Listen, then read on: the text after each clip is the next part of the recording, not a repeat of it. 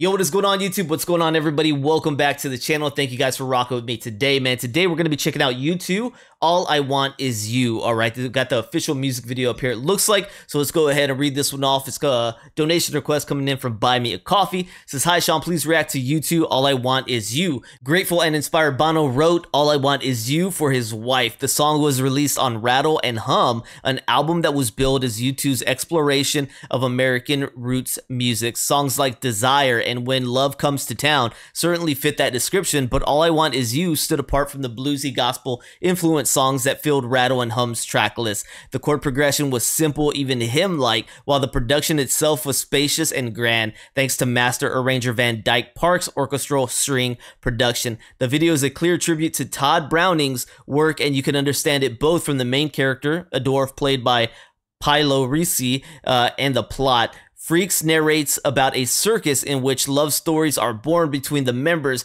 The most part are deformed and odd. Hans the door falls in love with the beautiful Cleopatra, the trapeze uh, artist, but she's in love with Urkel, the strong man. All right. Thanks, Sean, and more power. Okay, so I'll try to keep that in mind going through this one and playing it out. We've got over six minutes of music right here from U2. Don't think I've ever heard this one before from the guys, so we're going to dive in and see what's happening. All right, so let's go ahead and dive in, man. Don't forget to like, subscribe, check out the description. Consider becoming a member here, YouTube Patreon. If you guys are enjoying the content, man, great way to help me out. Here we go.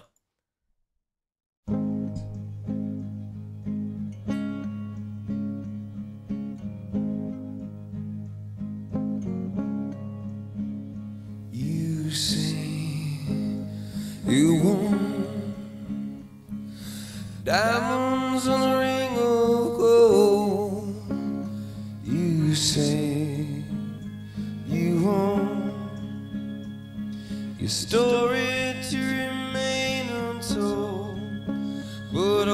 promises we made from the cradle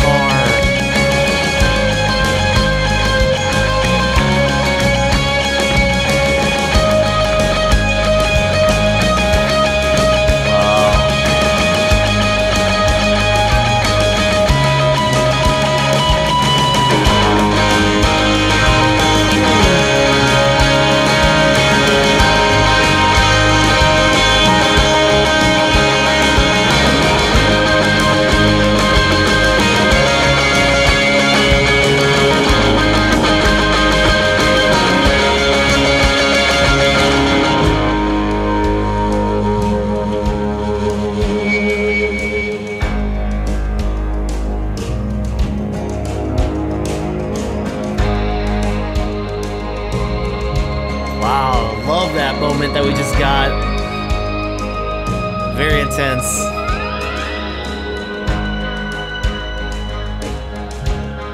Did my man actually fall to his death?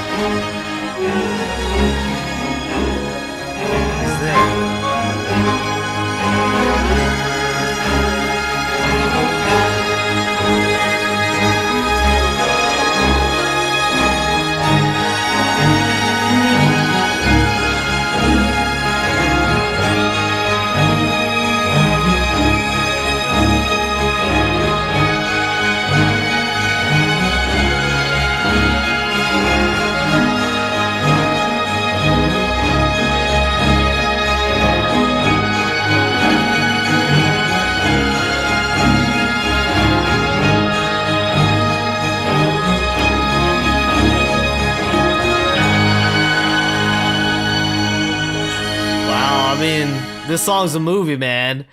This song's a movie. I'm gonna need somebody to resolve the ending there for me. Obviously, I didn't follow along too well.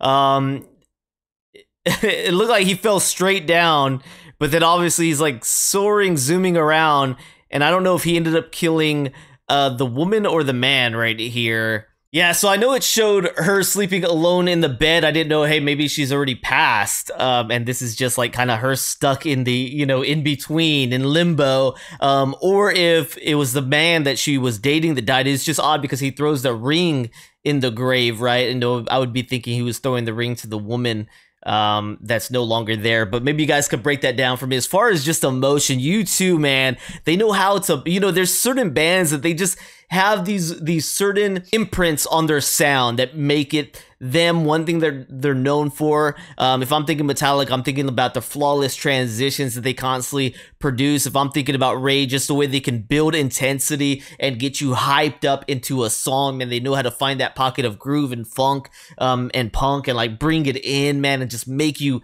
bang with them bro. You know what i mean? They've got these signature stamps um and this one with U2 it's the way they build up an intense moment and just let it almost just explode. Um they they amplify it they intensify it and then it's just exploding emotion. U2 has this way of doing that. They did it once again right here but this song really did come off like a movie or or, or a film scene to me. Um so it was great with the video to follow along with it even though i may have missed the step there at the end about what happened. Um it definitely helped build that intensity that I felt on the song, right? Loving everything about it. Their guitarist is magical, man, uh, when he's doing his thing. And I love I love the way Bono just like follows the track with his voice, man. He also, just like the music kind of explodes in that uh, direction, so does he, right? He follows that intensity. He'll start shouting out uh, the word over and over to just like uh, get the point across, get the message across. So I love this one from U2. Hadn't ever heard it before. All I want is you. Let's go ahead and dive into a little bit of the back. All right, so we got this one right here. All I Want Is You from U2, Rattle and Hum. Okay, this was released in um 1989. All right, and the so- the lyricist on this one is Mr. Bono himself. Okay, it was the final track on their 1988 album Rattle and Hum and was released um in 1989. It says a little bit of the history on it. It says it was released in the UK in 1989. Uh, the B-side features covers of the Righteous Brothers Unchained Melody. Man, I love Unchained Melody. Uh, that's cool that they covered that. Man, they got Everlasting Love on there as well. It reached number four on the UK charts. All right, string arrangements on the song are done by are done by Van Dyke Parks. It said that it was featured during an episode of Hindsight and the final scenes of the 2011 film Contagion. The song October appears on the compilation album The Best of 1980 to 1990. Here it talks about the music video video. It says director um, Mr. Avis shot the promotional video in the town of Ostia outside Rome on April 1989. The video takes an unusual cinematic approach to the song, with U2 band members making only brief cameo appearances. The video tells the story of a person with dwarfism played by Mr. Ricci, who falls in love with a trapeze artist, one of whom apparently dies towards the end. Uh, while there is disagreements amongst fans about exactly who has died, the Edge was quoted as saying it is the trapeze artist who dies. So yeah, that's that's the way I thought of it too, because he throws the ring in there. Why why would he throw that ring? It looked like he was really excited to pick up that ring and take it to her that day, um, that fateful day, right? But when he gets there, the guy's without a t-shirt. He clearly knows that there's some romancing kind of happening. He's upset. And it almost felt like to me he was either going to prove a point or going to end his own life there at the end. He ends up falling, but it, it's interesting because she it looks like she moves aside and he goes beyond her and then there's even a guy kind of walking in the tent and he moves aside. So that visual was extremely um confusing. But despite that scene, at the end of the film, on this day of the funeral, she's not there. She is in her bed, um, tossing and turning. I almost take that as a nightmare scene, a limbo scene. Um, and then he tosses the ring into the grave, right? So I don't know. I could see why there's confusion and disagreement. It doesn't give you a definitive in- ending, so you almost have to just go with what you think happened, right? So appreciate the video, made us think. Love the song, sounded beautiful. Loved reading a little bit about the music right there. Uh, so appreciate you guys, man. Hopefully y'all enjoyed rocking out with me today. Don't forget to like, subscribe, check out the description. Let me know more from U2 that you want featured on the channel, man. Consider becoming a member. Great way to help me if you guys would like to. All right, thank you, and I'll see you on the next one. Peace.